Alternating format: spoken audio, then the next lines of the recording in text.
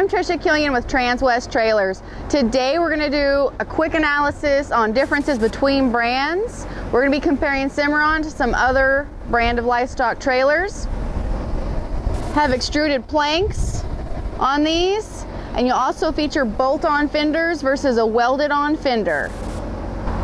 Another important feature is your hinges on these back doors. You'll notice on these, we've got four hinges on these back doors. You'll notice how big they actually are. Grease certs, standard with Cimarron. Remember this door is something that you're using day in, day out. You don't want those hinges seizing up on you. So this is a huge important factor. Some of the most important features on the Cimarron trailers will be the roof. You'll notice that this is actually a fully insulated roof. It's half inch thick and it's a honeycombed fiberglass reinforced. It's dent proof, it's hail proof, it's got an R3 thermal value to it. The nice thing with that is if you are loading freight, you're not gonna get any damage. You're not gonna puncture this roof. You're not gonna have to be replacing it during hail. If other manufacturers were to quote out an insulated roof, it'd be another thousand. This is standard. The floor. So Cimarron's floor has a center every four inches. So you have got constant support and it's actually double tongue and groove construction. So this floor actually interlocks and planks together as it comes across. That's a great feature.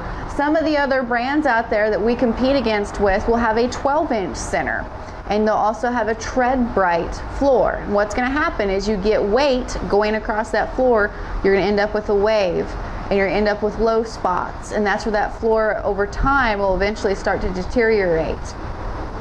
Another really important feature is gonna be your uprights. You'll notice that these tubes are actually gonna be more of a square instead of rectangular. What that means is you have a stronger, stouter side post by 40%. Ironically enough, we're using the same amount of aluminum as some of the other competitors, but We've shortened up this post to give you that extra strength and rigidity as you're going up and down the road. I appreciate your time.